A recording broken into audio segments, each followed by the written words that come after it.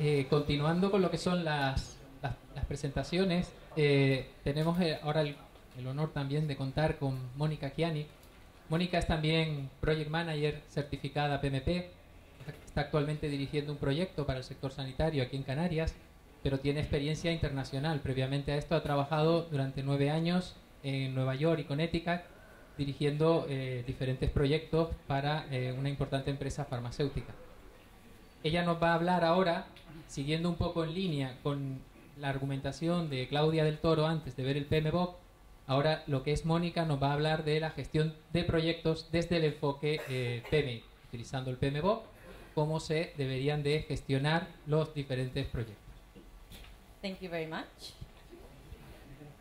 Good afternoon, everybody. And we're here today to talk about uh, project management. ¿No? No, ah, que no, que era en español. Ah, vale, vale, gracias. Pues bueno, era un poquito para romper el hielo ahí. Y buenas tardes. Y yo les voy a hablar hoy de la gestión de proyectos desde un enfoque del PMBOK, que es del, del PMI. Ya nuestra compañera Claudia ha cubierto un poquito de lo que yo iba a hablar aquí también, así que lo, hará más, lo haré más o menos y más ligero. Eh, un poquito de sobre mí, que ya acaba de decir Iván, al tener experiencia, la mayoría de mi experiencia profesional fue en los Estados Unidos, Nueva York. Mm, llevo aquí dos años trabajando, eh, haciendo gestión de proyectos eh, para la historia clínica electrónica, la implementación de la historia clínica electrónica en los hospitales de Canarias. Y después de haber estado tra trabajando allí en los Estados Unidos y al venir aquí, la diferencia en dirección de proyectos es abismal. No te digo que sea mala o que sea buena, pero es bastante, bastante distinto. Eh, y entonces he intentado también un poquito enfocar la presentación en más o menos mi experiencia y lo que creo yo que, que es importante. Vamos a empezar con qué es un proyecto y la dirección de proyectos en la empresa. Hablaré un poco del Project Management Institute, el, el PMBOK, que es el estándar, que la metodología que, que para mí es la metodología, por ahora, bueno, para los proyectos que yo he hecho es la metodología que va. Y ya veremos después también, otro compañero va a hablar, eh, va a hablar también de la metodología ágil y dependiendo del proyecto que tengamos, pues una metodología otra, una u otra irá.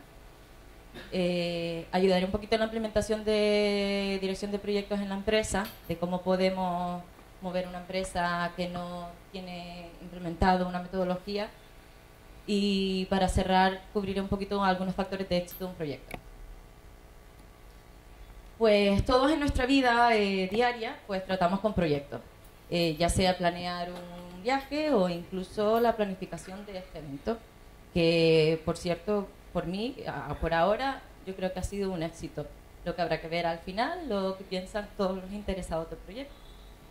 Eh, un proyecto, según la definición del PMI, es un esfuerzo temporal que se lleva a cabo para crear un producto, un servicio o un resultado único. Vale, eh, la dirección de proyecto en la empresa, pues lo que tiene de bueno, bueno, tiene, bueno cosas que tiene de beneficio es que añade eh, competitividad a la empresa, le da competitividad y eficiencia. Un proyecto eh, se crea para lograr, un proyecto profesional, por así decirlo, una vida diaria, se, se, crea para lograr la estrategia del negocio y por ello debe de estar alineado con la estrategia del negocio en sí. Eh, los proyectos en general surgen por demandas del, del mercado, eh, una solicitud de un cliente, eh, una necesidad de la, de la organización, incluso también requisitos legales hacen que, que se crea un proyecto. La, los proyectos también, mmm, el tener una metodología para dirigir los proyectos en una empresa, pues ayuda a, a tener los mejores resultados a tiempo, dentro de costos, dentro de un alcance que se ha determinado y acorde con unos requisitos. ¿Dónde podemos aplicar la dirección de proyectos? Pues en, una gran variedad de, de, sectores y de industrias. El PMBOK, el PMBOK en específico, pues eh, está diseñado para poder implementarlo en, varios sectores. tenemos en, sectores de, no solo sectores tradicionales como el sector de la tecnología o sector de la construcción, pero también en el sector legal, en sanidad, en marketing y venta, se usa y se puede usar y se está usando hoy en día mucho. también se usa en, bueno, en tanto en grandes empresas como en pequeñas o medianas. Y, y también hay industrias como la industria farmacéutica que requiere que para desarrollar un sistema software requiere que sigan una metodología. Mm, y la razón de eso es porque, por ejemplo, eh, en Pfizer que, está, un software para, para medir el contenido de, de, de, algo de la medicación. Todo eso afecta indirectamente al, al paciente y requieren que el software ese sea diseñado siguiendo una metodología y sea validado para que se pueda comprobar que funciona acorde con los requisitos que, debe, funcionar. De acuerdo, y entonces aquí eh, decirles un poquito sobre el PMBOK, el Project Management, del Project Management Institute, que nuestra compañera Claudia ya ha cubierto, pero para repetir un poquito y, y para aquellos que no están familiarizados con, con la metodología, el PMBOK es una guía de buenas prácticas referente a la aplicación y uso de los conocimientos, de las habilidades, de las herramientas y técnicas para resolver requisitos de un proyecto y así poder aumentar la probabilidad de éxito del proyecto. Eh, describe eh, cinco grupos de procesos, diez áreas de conocimiento, entradas y salidas, herramientas y técnicas. Esto, para los que no estén familiarizados con el PMBOK, puede, puede sonar a China pero eh, tiene, tiene mucho sentido. Les voy a enseñar aquí esto, que también lo había enseñado Claudia. No voy a recorrer el, diagrama entero porque podemos estar aquí una semana o más. Pero para que os hagáis una idea de lo que la metodología del PM, que el PMBOK describe. Tenemos arriba, ahí tenemos los grupos, los grupos de procesos que son de iniciación, planificación, ejecución, control y seguimiento y el, proceso, el grupo de proceso de cierre. Estos son, como, explicó, como se explicó, son las fases de, un proyecto. Y aquí a la izquierda tenemos las áreas de conocimiento, que son 10. Eh, y son las de integración, la, la, alcance, gestión de tiempo, gestión de costos, gestión de calidad, gestión de recursos humanos, gestión de comunicaciones, gestiones de riesgo, gestión de adquisición y gestión de los interesados. Es una metodología que es bastante extensiva te describe, te describe todo, al para mí me describe todo al detalle. Es bastante compleja, pero es también, es muy, yo la considero que, que es muy, muy, muy, que se puede usar, te lo voy a decir en inglés, no, pero que, que ayuda mucho en un proyecto para poder llegar a los requisitos. En un proyecto, dependiendo de la criticidad del proyecto, ya sea un proyecto complejo o un proyecto simple, no quiere decir que tengas que seguir exactamente todos los pasos y todos los procesos que describe. Si yo, por ejemplo, mi proyecto eh, no tengo nada que ver con proveedores, no trato con proveedores, pues entonces la parte de la gestión de adquisición de proveedores, pues no la tenemos que seguir. ¿Vale? Eh, y estos que están aquí dentro son los 47 procesos de los que hablaba, de los que hablaba Claudia. Yo, para darles un ejemplo, eh, me he concentrado en uno de los procesos, que es desarrollar el plan para la dirección del proyecto, que está dentro del grupo de proceso de planificación y dentro del de, eh, área de conocimiento y gestión de la integración del proyecto.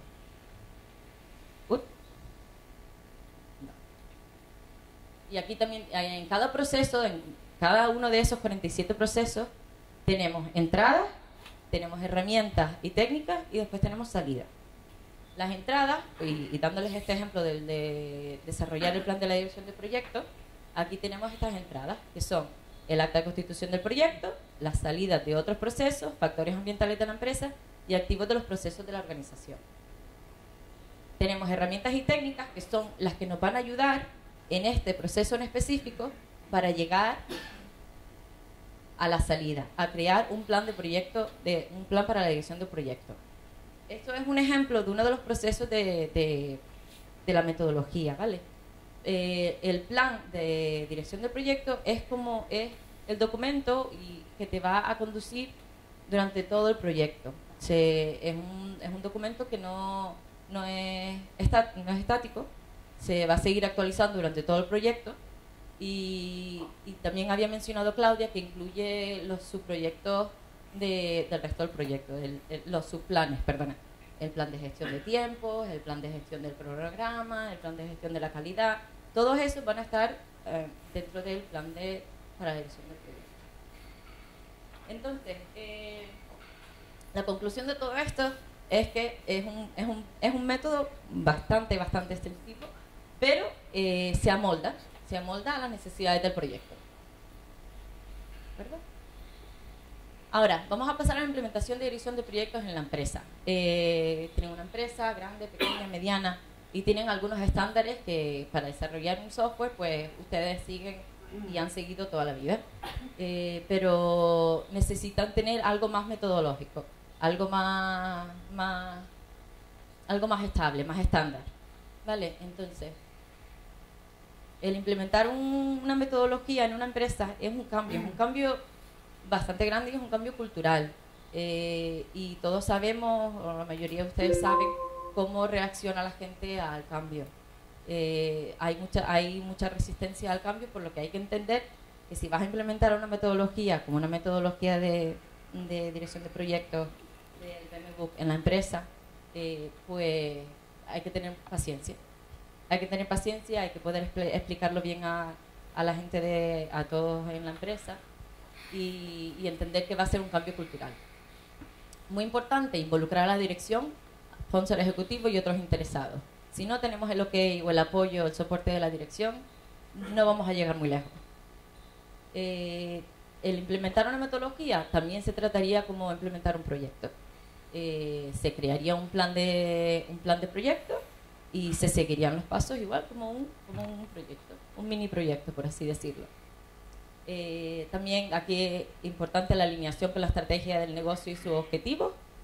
El, implementarlo tiene que estar en alineación con la estrategia del, del negocio. Si no, no, no tiene mucho beneficio. Otra parte importante de, de la dirección de proyectos y el poder implementarlo en una empresa es el, el PMO, que es el Project Management Office. Es la oficina de gestión de proyectos. En empresas grandes esto suele ser un departamento en sí, eh, pero también en empresas pequeñas puede ser una persona. Y eh, sería la persona que se encargaría de estandarizar los procesos en esa, en esa empresa o el, el, equipo que se encargaría de estandarizarlo en la empresa y, y también, también actúan como un apoyo y soporte para todos los proyectos. Eh, yo quiero empezar un proyecto para, para, un fin y necesito que me den el presupuesto, necesito obtener el presupuesto para ello y, y ver si me lo aprueban. Voy al PMO y presento mi propuesta y según, la, según eh, se lo presente y según vean la prioridad, si es, si es útil, si no es útil, si alinea con la estrategia del negocio, si va a dar retorno de inversión, pues el PMO sería quien lo aprueba o no lo aprueba. Porque muchas veces, eh, y me he encontrado la ocasión de, que hay gente involucrada en proyectos y llegan al final del proyecto, tienen el producto final, pero pasado un mes el proyecto, el software o, ya no se usa. Y entonces ha sido una inversión innecesaria.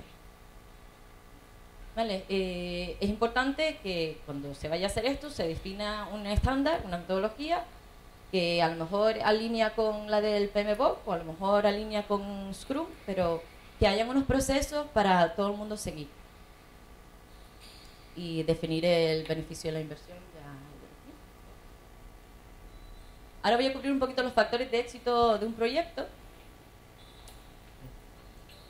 Tradicionalmente eh, se consideraban tres eh, parámetros hacerlos importantes para considerar un proyecto que, de éxito. Y estos son los costos, tiempo y alcance.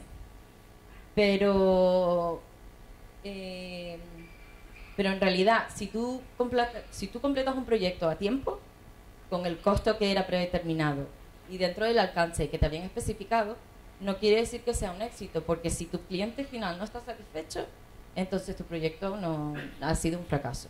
Entonces no nos podemos limitar solo por estos parámetros, eh, también indicar que los riesgos son importantes y normalmente suelen ser excesos de costo, de tiempo o incluso de alcance.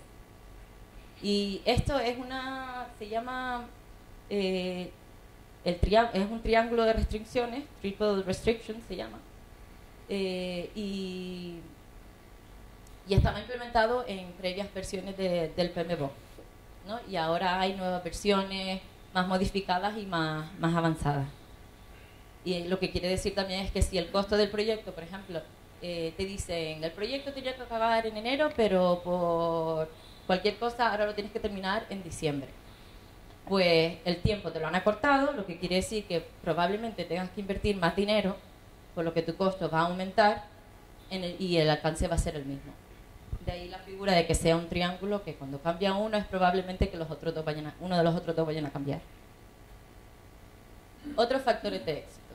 Eh, he cogido esa viñeta porque me pareció muy graciosa, porque voy a cubrir que uno de los factores eh, muy importantes de éxito es la comunicación. Comunicación, comunicación y comunicación. Es, eh, para mí, uno de, los, uno de los factores más importantes de un proyecto. Te tienes que comunicar a todas las direcciones, arriba, abajo, derecha, izquierda. Mm, comunicar con dirección, comunicar con el equipo, comunicación con el cliente, comunicación con con los proveedores, todo es muy, muy importante. No solo lo que se comunica, sino cómo se comunica y, como acabo de decir, a quién le vamos a comunicar. Eh, liderazgo también es otra, otro factor que considero también es importante.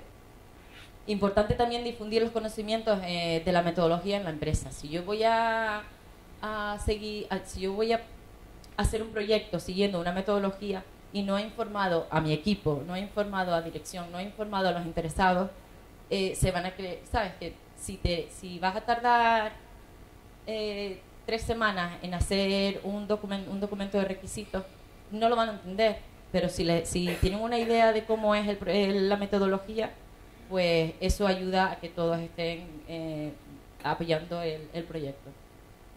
Y muy importante también incluir a todos los interesados. Y la satisfacción de los interesados y clientes, como dije antes, también es muy importante. Y aquí al final, para terminar, he puesto algunas fotos de, proyectos que he encontrado que, por lo que se ve, han fracasado un poquito.